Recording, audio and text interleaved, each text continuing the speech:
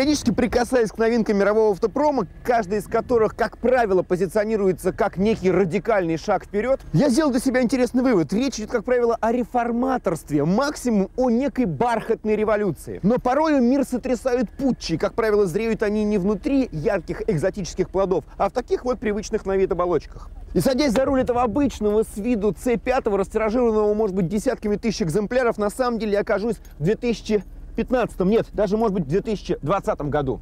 Это принципиально иной принцип управления автомобилем, так называемый drive-by-wire. Это э, отсутствие механических связей между органами управления и узлами автомобиля.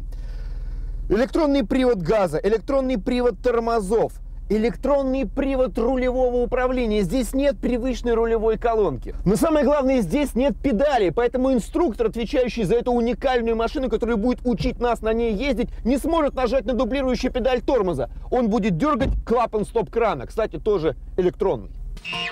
Но прежде чем перейти к практике, немножко теории. Зачем все это нужно? А представьте себе, сколько лишнего железа в виде приводов, рычагов, тяг, тросов и валов таскает на себе с самого рождения автомобиль. Сколько бензина сгорает зря, чтобы ввести эти сотни килограммов железа.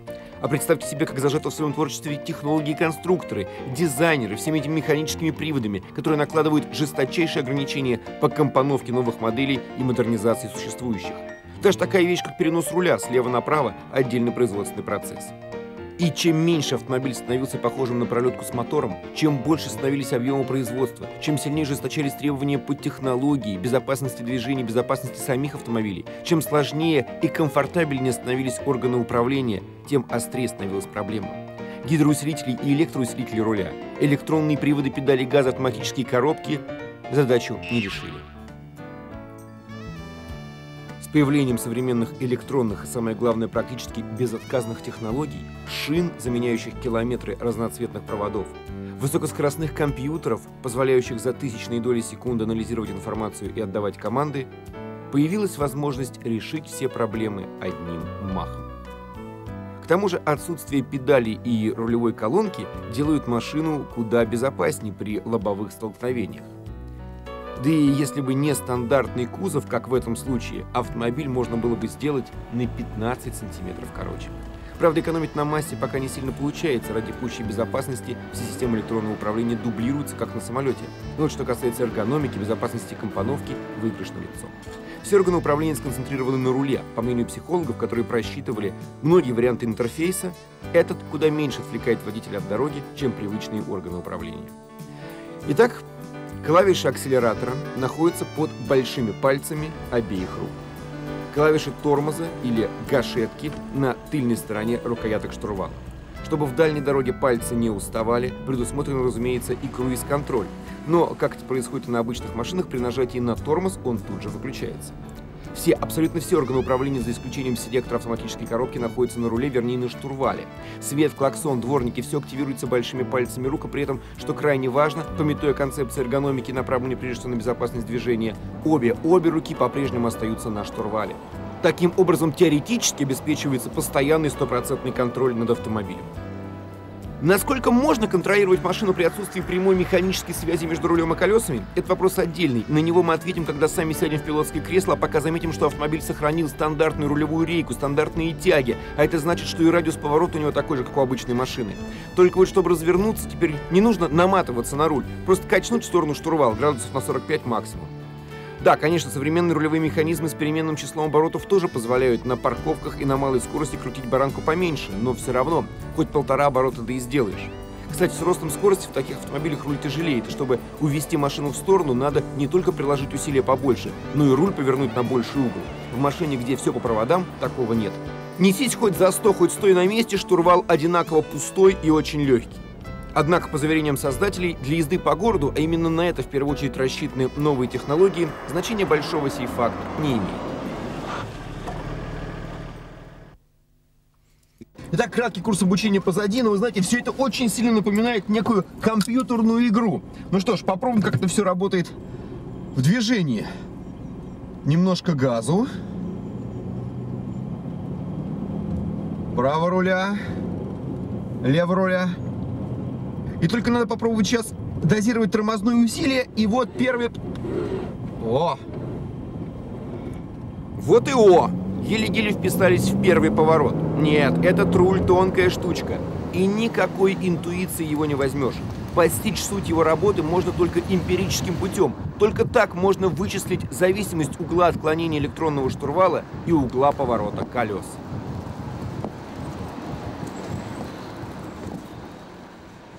Этом автомобиле нет не только рулевой колонки и привычной тормозной гидравлической системы. Здесь вообще нет никакой гидравлики и механики. Одни сплошные электромоторы электронные мозги, соединенные между собой, как в самолетах, дублирующими системами. Поэтому, чтобы приноровиться к повороту автомобиля, к его реакции на этот штурвал, должно пройти определенное время. А что касается тормозов, то здесь пока и вовсе беда. Но не стоит забывать, что речь идет о концептуальном автомобиле. И это лишь просто разработка. Назовем это точнее, назовем это эскизом. Нет, конечно, нельзя говорить, что здесь полностью отсутствует привычная гидравлика, тем более если речь идет о Ситроене просто активирует ту же тормозную систему не нога, жмущая на педаль, а электронасос, получающий сигнал от той самой гашетки на тыльной стороне штурвала. Поскольку у нас абсолютно все органы управления вынесены на руль, попробуем одновременно, например, включить указатель поворота и побибикать. А заодно включить свет и дворники знаете, особого дискомфорта не испытываешь. А вот то, что реакции машины, особенно на поворот руля, несколько задумчивы, сильно настораживает. Этот самоходный компьютер, будь хоть сто раз высокоскоростным, все равно соображает пока медленнее человека. Интересно было бы попробовать на этой штуке сделать переставку, но будем снисходительны. Ведь никто не пытается уже завтра поставить этот футуризм на конвейер. Впрочем, на разумных скоростях до 60 задумчивость руля раздражения не вызывает.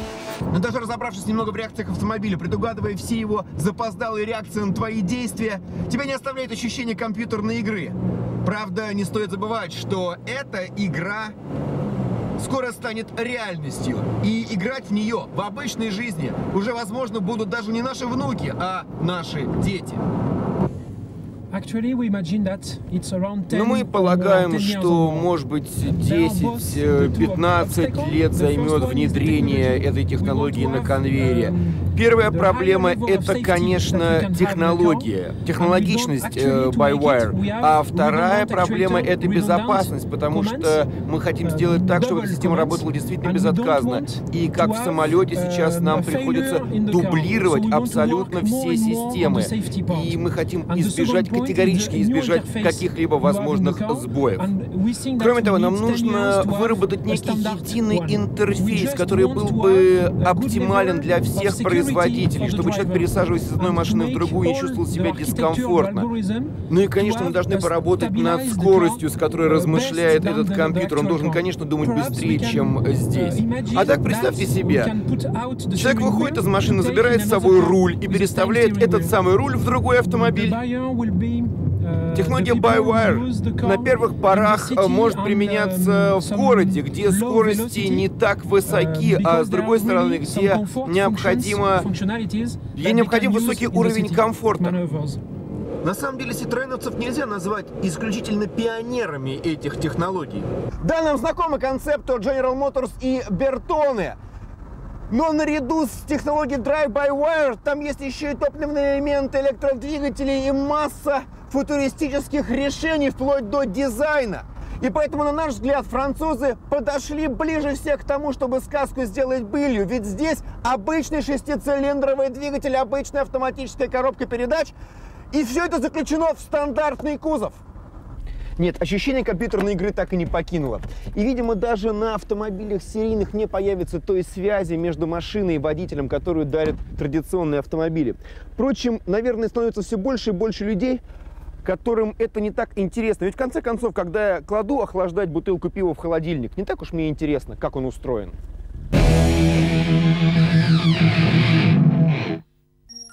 Первая пневматическая шина была запатентована в 1846 году, и с тех пор совершенствование ее конструкции не прекращалось. Но если в той первой покрышке Томпсона было всего две детали, то в современной шине их больше десятка. И если сто лет назад шинная технология обходилась пятью-шестью компонентами, то сегодня их нужно под сотню. И когда в 1891 году братья Мишлен сделали шину съемной, а значит легко заменяемой, очень скоро стало понятно, что другого варианта эволюции колеса просто нет. Однако эволюция развивается по спирали «я тебя породил, я тебя и убью». Эти гоголевские слова из Тараса Бульба как нельзя лучше подходят к нынешней ситуации. То, что вы видите, изобретение тех же мишленовцев, которые в свое время окончательно убедили мир в необходимости отделить шину от обода. Ноу-хау называется T-wheel, неологизм, рожденный от двух слов tire, шина и wheel, колесо. То есть колесо-шина в одном флаконе. Основа конструкции — хорошо забытая старая эластичные спицы. Нечто похожее, как альтернатива первым ненадежным шинам, было весьма популярно во второй половине 19 века. Однако современные шинники уверены, эта технология позволит революционным образом изменить качество современного колеса. Срок службы вырастет в разы, тормозной путь будет короче, езда комфортнее и тише. Конечно, все это возможно исключительно благодаря применению современных полимеров, которые были совершенно недоступны еще 20 лет назад. При этом характеристики T-Wheel куда проще адаптировать под каждый конкретный случай. Хоть под бульдозер, хоть под военную технику, хоть под велосипед. Весь вопрос в прочности и эластичности тех самых спиц и сердцевины колеса, напоминающей соты. Кстати, та же живучесть T-Wheel, способность переносить без последствий серьезные деформации, открывает перед этим изобретением еще одну сферу применения – техника для активного отдыха. Правда, тут стоит помнить о том, что если шина-колесо все-таки разрушится, тут уже никакой ремонт не поможет, только замена. И еще не ясно, как будут изменяться характеристики колеса при разных температурах. Много вопросов, но шинники готовят на них ответы и предлагают все новые и новые варианты развития T-Wheel.